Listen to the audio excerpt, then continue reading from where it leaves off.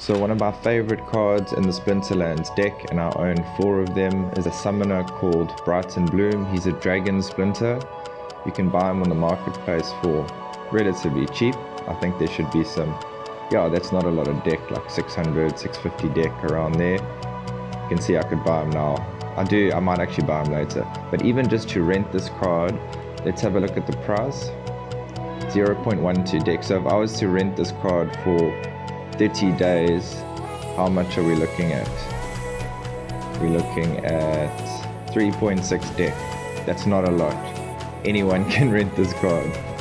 But so what makes him so powerful as a summoner and also a very cheap summoner is he gives all of your monsters a flying ability. So when you have these earthquake damage battles, if you see at the top here, you can literally fly above. So you just do a normal deck you know, whatever your usual deck would be, and all of your monsters will have the flight ability, which means they won't take earthquake damage, and a lot of the attacks will miss them, well, the ranged and the melee attacks will miss them because of flight, but your magic damage will still hit a flight monster.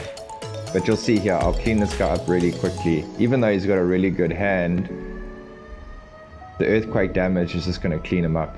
You know, look. He's almost done. So Brighton Bloom, great card. I'm actually probably going to go and buy one. I've started a guild and it's a really good card for new players and if anyone in my guild doesn't have Brighton Bloom, I'm going to make sure they either get it or I will send them Brighton.